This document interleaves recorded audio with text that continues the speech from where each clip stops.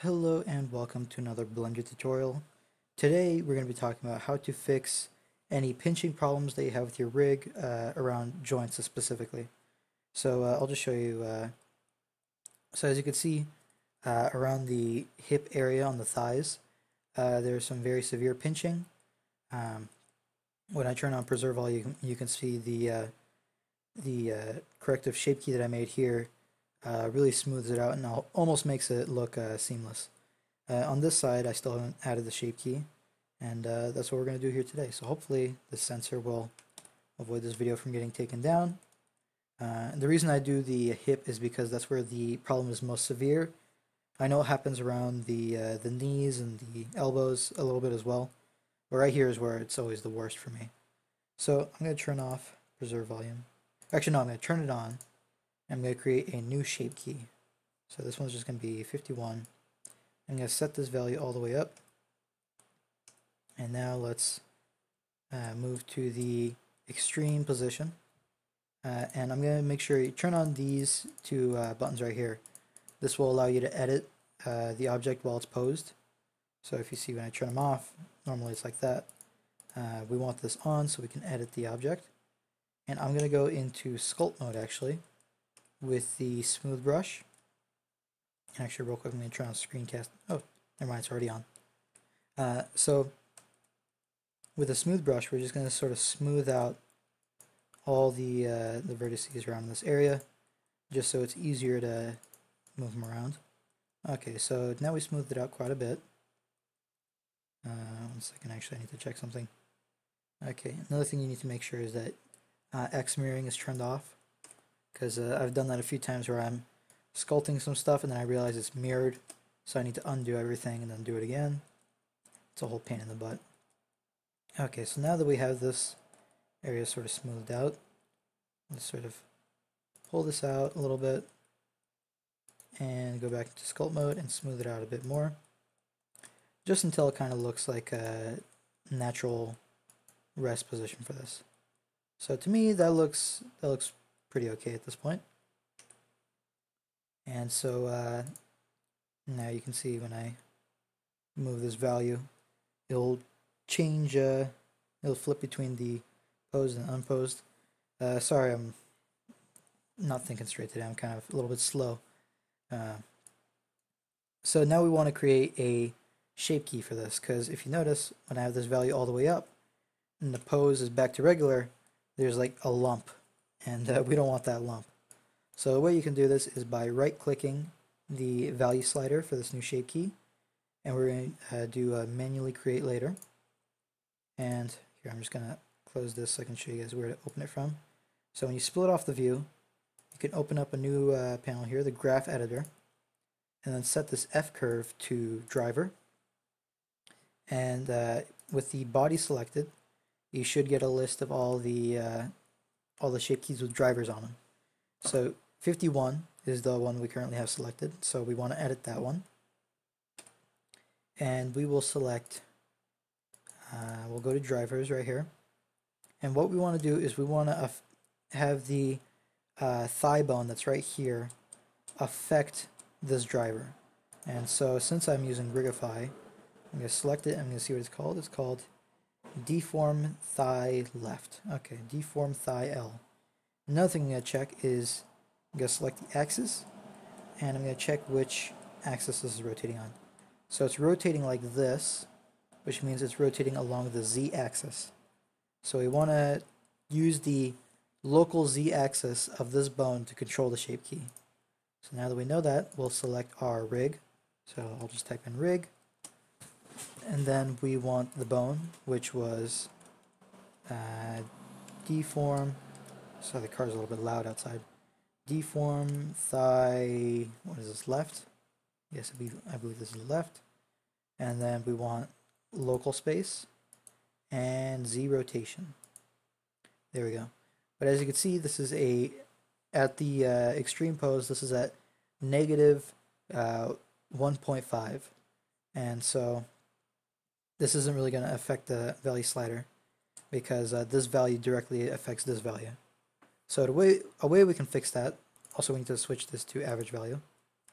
So it's still not doing anything. Though actually at this position it's is it doing no it's not doing anything.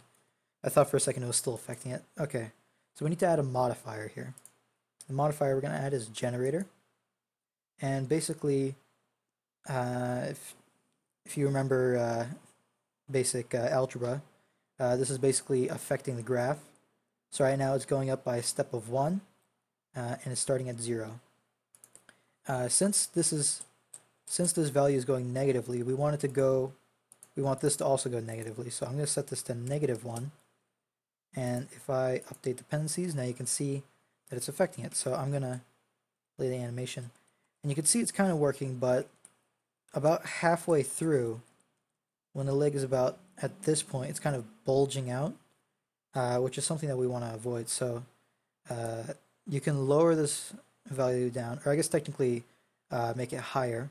So I'm gonna move this to the point where it's bulging the most, probably around here. And I believe the last one was set to 0.75, so I'm gonna set this one to 0.75 as well, or negative 0.75, I guess. Let's update dependencies. And there we go. So that looks a little bit better. It's still bulging a little bit, but that's good for what we want. And so now you can see, uh, even in the rest pose, it looks good, and then the transition between the rest pose and the extreme pose, uh, yeah, there's a little bit of pinching, but for the most part, it's uh, good throughout the entire way. Uh, but now uh, another quick fix, uh, and I'm just going to do this just because it's kind of related, is uh, with, since we have preserve volume on, when we lift up the leg, you'll notice the knee sort of bulges out. Here, let me turn off the deform bones. So you'll notice the knee really bulges out there.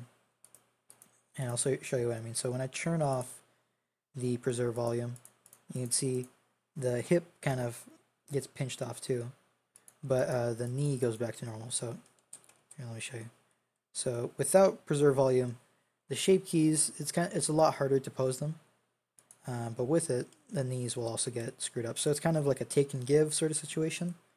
Uh, but we want to switch this to an only take situation. We don't want to give nothing. So a way we can do that is by creating a uh, vertex group.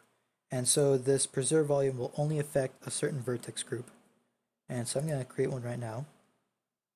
Uh, I already had some set up there that I did earlier, but I'm going to create a new one. So this one's just called group. Uh, shoot, I don't want to go back to Basis so it's not showing me the shape key in edit mode. So we just want to select sort of this general hip area. Uh, and I'm holding down Alt to select loop cuts and holding down Shift, shift so I'm not just selecting, so I can select multiples at once. So Shift select that, Shift select that, and Shift select here. Then Control plus plus on the keypad, and that will increase your selection size. And this is pretty much the entire area that, that we want uh, to be affected by the um, preserve volume. So we'll just click assign and uh, I'll rename this to volume just so it's easier to find. Volume. Okay, but the problem uh, we face now is uh, when I put this in, volume, and we play the animation, you see now it's only affecting that area, which is uh, kind of the opposite that we want. Even when I flip these arrows, it'll affect everything except that. So uh, the only fix I was able to find for that is by adding another armature and using the same rig and only having this one set to preserve volume. Volume. And I want this to be flipped the other way. So I'll click these little arrows here. Uh, but now you can see it's like freaking out when I do that. That is because we need to uh, turn on multi-modifier. So make, make sure this is on for both the uh, armatures. And uh, once that is all said and done, now you will have a properly deforming uh, uh, hips for your armature. So you can see right here is deforming nicely, and if I go back to the first frame and actually lift up the knee, you can see it's bending here properly too, so you're not getting that pinching effect. And if the shape key is kind of, or not the shape key, if the vertex group is kind of uh, giving you a sharp edge, what you can do is select your vertex group, go into weight paint, and select the, uh, where is it, the blur brush, and you can kind of smooth it all out if you want. So this will help you get less uh, sharp edges uh, where the two armatures meet. And so now it should look a little bit better. But uh, that's about it. So hopefully this helped at least some of you. I know I've had this problem for a long time. Um, and thanks for watching. I'll see you guys in the next video. Bye-bye.